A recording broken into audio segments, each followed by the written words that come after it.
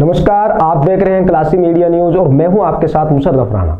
चलिए शुरुआत करते हैं इस वक्त की बड़ी खबर के साथ। मेरठ रेंज के नए आईजी प्रवीण कुमार ने आज चार्ज लेने के साथ ही अपने अधीनस्थों को सख्त तेवर दिखाते हुए स्पष्ट कर दिया कि भ्रष्टाचार में लिप्त पुलिस कर्मियों को या तो अपना रवैया सुधारना होगा, या वो अपना बोरिया बिस्तरा बाँध लें। आज चार्ज लेने के साथ ही मीडिया से बातचीत में उन्होंने कहा कि ज़ीरो टॉलरेंस क्राइम उनकी प्राथमिकता रहेगी उत्तर प्रदेश शासन की और पुलिस मुख्यालय के स्तर से जो निर्देश अब तक प्राप्त हुए हैं उनको और बेहतर कार्य निष्पादन उसका हम कर सकें।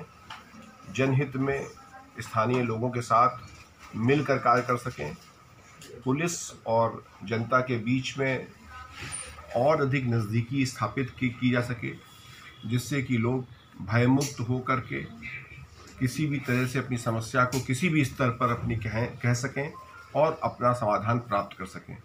एक संस्थागत प्रक्रिया जिसके द्वारा लोगों को उनकी समस्याओं का निदान प्रभावी रूप से कराया जा सके, वो हमारी प्राथमिकता हम लोगों की होगी। इस रेंज में हम लोग सब मिल करके स्थानीय लोगों से, जो पॉजिटिव एनर्जी के लोग हैं, जो सकारात्मक ऊर्जा के लोग हैं, उन सबको शामिल करते हुए हम लोग एक बेहतर सांप्रदायिक सद्भाव वाले माहौल में रहते हुए एक प्रभावी कार्रवाई करेंगे।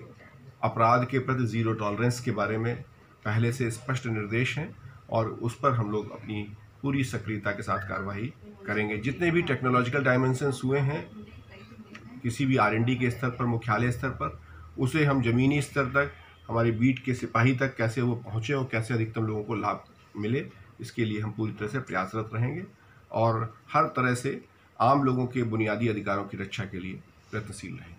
Thank you. Thank you.